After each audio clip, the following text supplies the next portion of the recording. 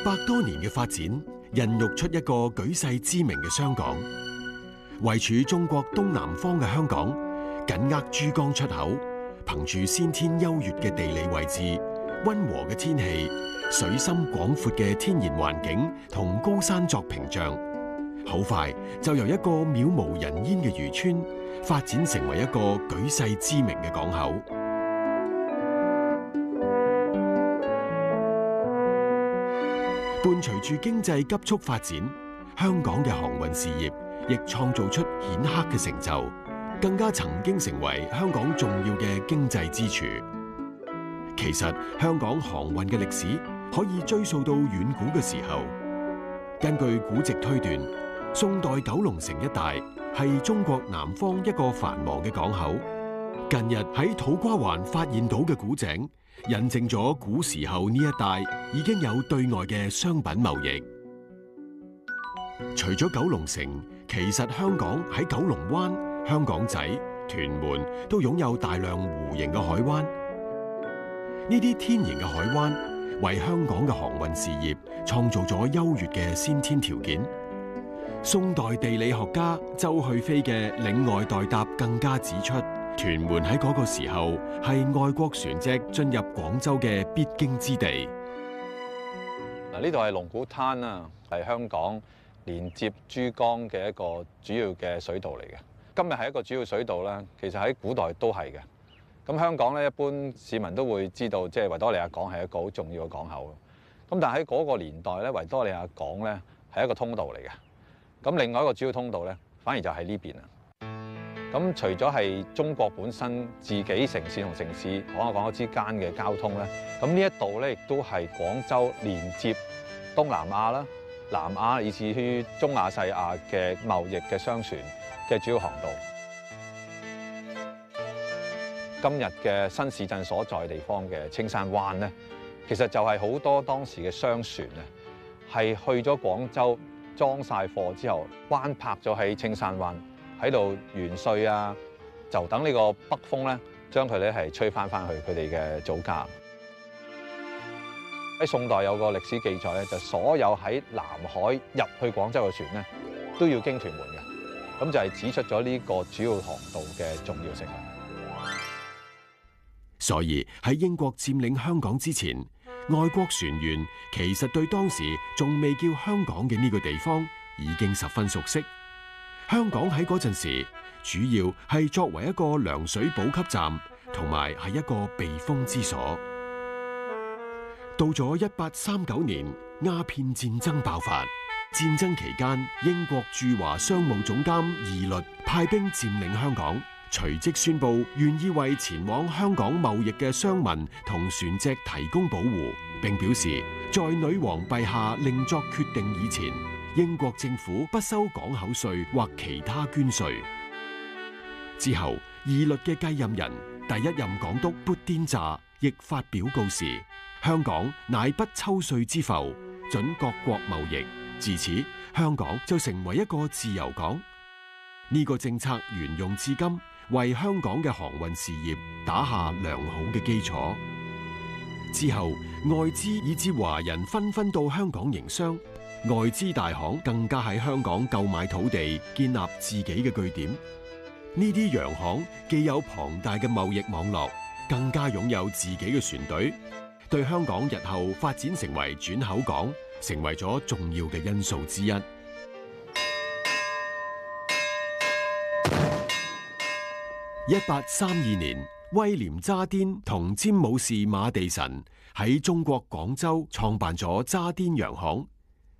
喺一八四一年，渣甸洋行買咗東角。當時呢個地段係臨海之地，地勢非常優越，有海灣供洋船停泊同築建碼頭，有海濱平地供建貨倉，又有小山居高臨下。所謂東角咧，就而家波斯富街以東一路去到咧，而家咧就皇室堡啊、柏寧酒店啊，同埋呢一紮高尚住宅嗰堆建築物，以前都係屬於佢嘅東角貨倉嚟嘅。渣甸喺一八四二年將原來位於廣州嘅總部移師香港，藉住怡和喺內地嘅名聲，改名為怡和洋行。一八八二年正式成立怡和輪船公司，並喺香港、上海等地設立碼頭、倉庫等設施。怡和喺殖民地時期一直對香港嘅政治同經濟都有舉足輕重嘅地位。喺十九世紀，仲將東角發展成為設有船隊、碼頭、貨倉、辦公大樓同員工宿舍嘅總部基地，仲喺東角設置大班府邸。經歷百多年嘅變遷，東角已經變成繁榮嘅商業中心，而昔日喺東角嘅碼頭、貨倉等等設施，亦變成咗酒店、住宅同商業大廈。曾經坐落喺東角嘅怡和門，亦已經搬往賽馬會上水双鱼河俱樂部。但係喺每日正午十二點，喺銅鑼灣海旁，我哋依然見到怡和禮炮鸣放。呢一聲炮聲咧，令我哋記得咧喺香港開埠初期，怡和同埋佢同時期嘅其他嘅為數不少嘅洋行咧，係為航運業作出咗貢獻，奠下咗非常之堅固嘅基礎，為日後香港航運嘅發展咧帶嚟高速嘅增長嘅。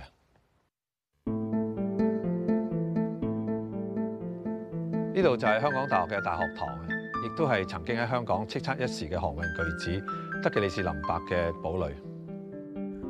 一八四三年，二十二歲嘅蘇格蘭人德記利士嚟到香港打工，後嚟白手興家，投資唔同嘅行業。之後佢買咗香港仔臨海地段，開展船澳同航運事業，又創立咗德記利士輪船公司，並積極參與建立黃埔船澳。佢旗下嘅輪船喺嗰個時候中橫中國沿海。而德記利士亦都成為咗一代船王。當年佢嘅城堡矗立喺海角，俯瞰住自己喺香港仔嘅航運王國，進展一代船王氣派。後嚟德記利士返回老家，並喺一八六九年逝世。之後佢喺香港嘅家族業務亦慢慢衰落，而德記利士堡幾經轉折。亦都變成咗今日香港大學其中一座學生宿舍，即係著名嘅大學堂。喺十九世紀中葉咧，喺香港註冊嘅好多中國商船咧，都會掛咗外國嘅國旗嘅。咁佢哋咧係借住呢個雙重嘅身份咧，係逃避關稅啦，有啲甚至乎係走私嘅。呢個做法咧喺當時引起咗好大嘅爭議。一八五六年十月八號，廣東水師接獲舉報。悬挂英国国旗而被盗取咗嘅亞羅號停泊喺广州黄埔。你同我听住，我收到有人举报。巡河水师千總梁国定于是登船搜杀。清朝官方解释，因为发现执照已经过期，于是扣留咗十二名涉嫌走私嘅中国水手。但系事后，外籍船长声称。見到中國水師將懸掛喺船上嘅英國國旗撕毀，對此清朝官方予以否認。事後咧，英國咧係勒令駐港英軍咧開入去珠江口炮轟呢個兩港總督府嘅。咁之後咧，廣州嘅居民咧就報復啦，就燒咗喺當地嘅洋人嘅居所，令到咧十三行咧化為烏有。咁呢件事件咧係直接成為咧。一八五七年咧，英法聯軍嘅導火線嘅，咁啊，英法聯軍之役之後咧，喺一八六零年咧，係兩國簽訂咗《北京條約》，咁啊，自此咧就香港呢個殖民地啊多咗好大空間係發展啦。咁特別係對於航運啊、造船啊、維修船隻啊呢啲事業咧，係有長遠嘅啊發展嘅幫助嘅。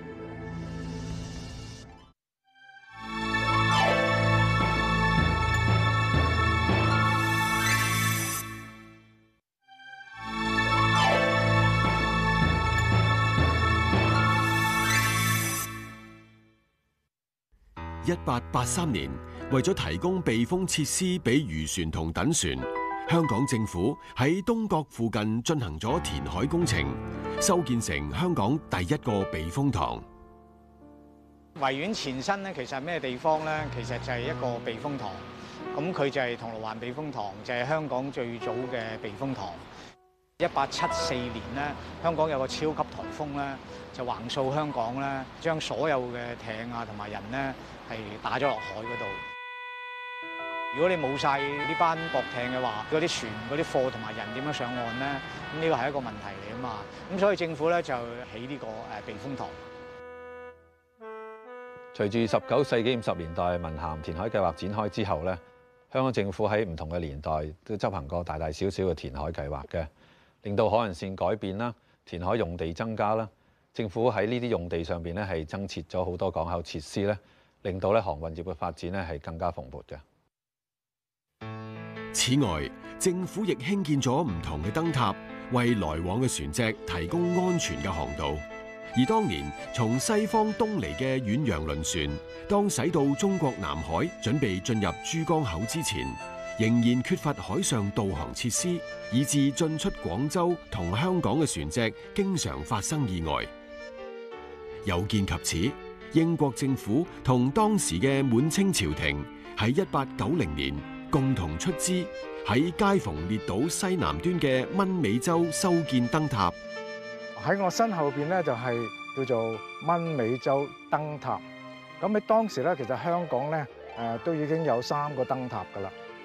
喺北面嚟嗰啲船咧，咁嗰三個燈塔咧就係可以咧就俾到佢嘅方向指示。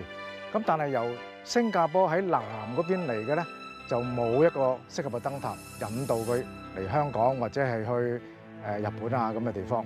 咁所以咧有呢個需要咧喺呢個地方起一個燈塔。咁呢個燈塔咧係中國政府同意咧，俾香港政府咧喺呢個中國土地上起一個燈塔。呢個英式白色圓形石砌嘅塔，亦成為咗船舶進出珠江口嘅一個重要轉向標誌。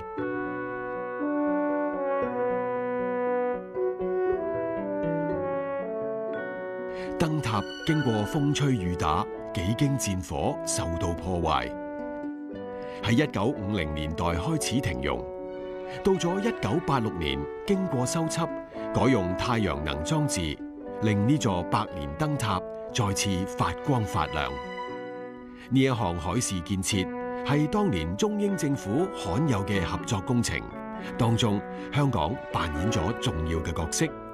到咗今日，導航設備雖然大大改善，但係蚊尾洲嘅燈光依然從島上發放。繼續為來往嘅船隻導航。十九世紀中後期，由於蘇伊士運河開啟同華工貿易蓬勃，加上東西方貿易不斷增長，令處於優越位置嘅香港發展成為一個繁榮嘅轉口港。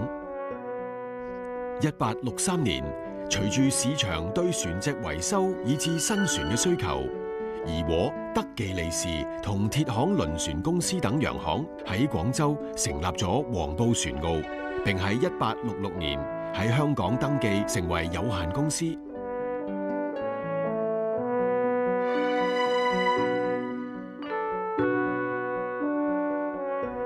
一八七零年，黃埔同紅磡嘅聯合船澳合并之後，又兼併咗于仁船澳。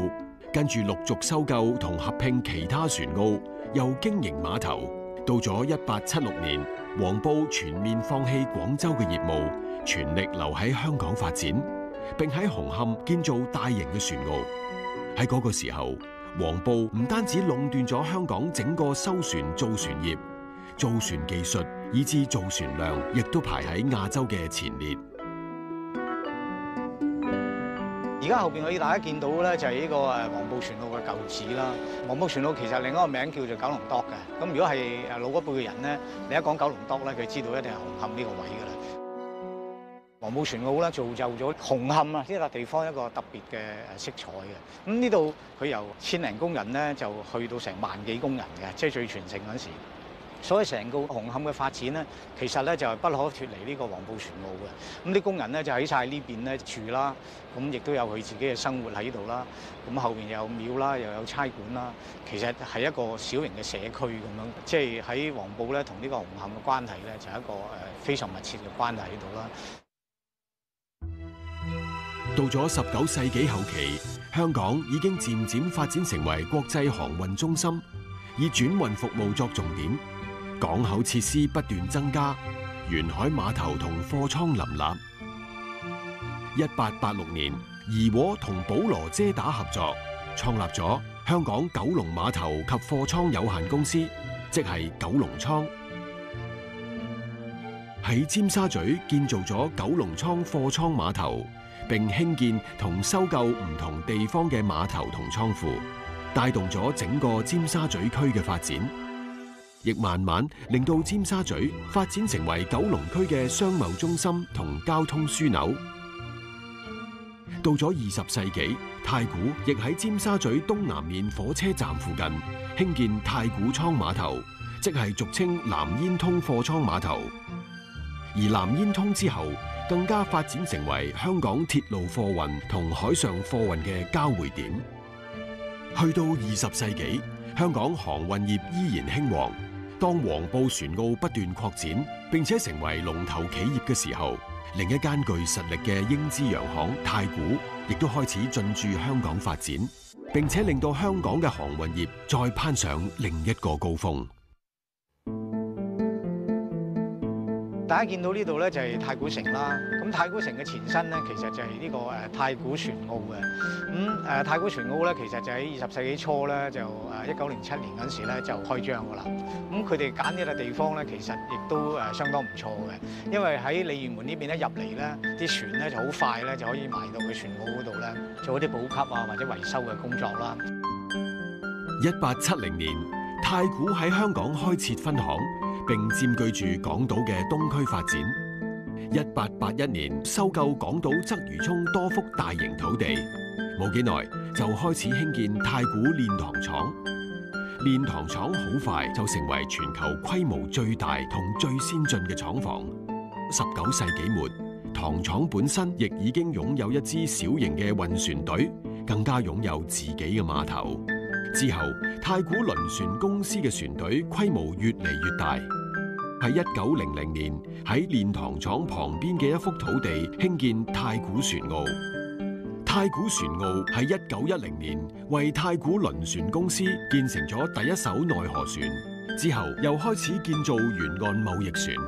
船澳裏邊咧，其實誒同呢個黃埔係相當相似嘅，因為佢要做到咧係即係佢自己可以誒，即係一個自己一個大型嘅嘅小社會咁嘅。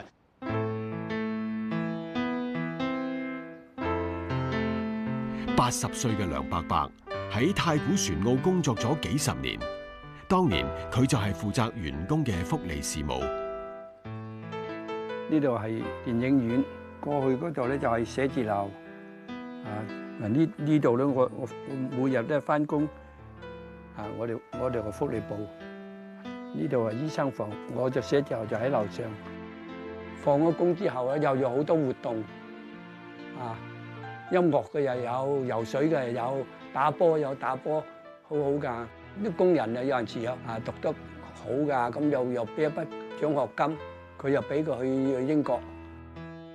呢個船澳咧，佢哋咧就好標榜咧，自己同員工嗰個福利咧，同埋個關係咧係相當好嘅。因為當其時嗰個整個大氣候咧，誒世界都好多辦工潮嘅，咁佢哋咧就誒以呢樣嘢咧，就話俾嗰啲船東聽咧，佢哋即係同員工誒關係好，所以咧佢會依期交到嘅船啊，或者依期誒即係做好個維修啊咁樣樣。